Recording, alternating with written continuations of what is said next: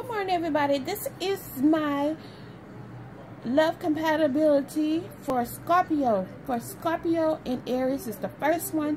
So let the card popped out to me. No. um. So what I'm getting about this is it's saying that Scorpio and Aries is just too intense for each other. They're both very possessive and and are very emotional. So they are both naturally controlling um, individuals. So this couldn't possibly work out. It just wouldn't work out. Okay, so now with Scorpio with Leos, it's like it's a common link between them two. You know, in the beginning, in the beginning of the relationship, things would probably be very passionate.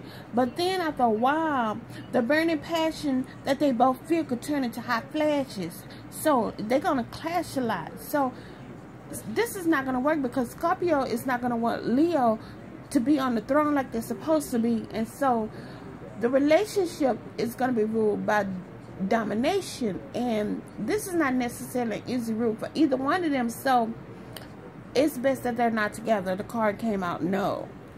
Okay, Scorpio and Sagittarius is saying that now do they go together? No. They can't go together either. It said that it might get off the ground in the beginning, but it's got, not going to be a natural part. It's not going to be a natural partnership here. It's basically what's happening. It's not going to be. It's not going to work. And the reason I'm saying that it's not going to work is because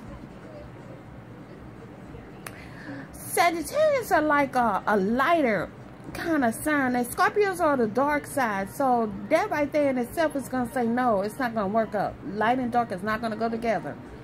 So that's a no. Thank you.